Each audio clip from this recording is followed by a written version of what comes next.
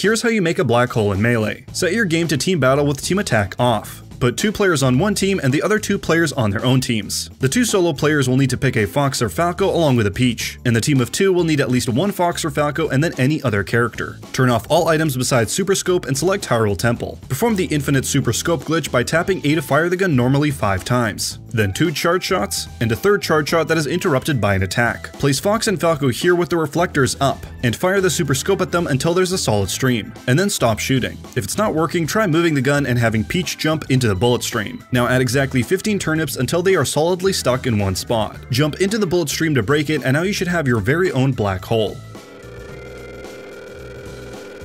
Did you get all that? If not,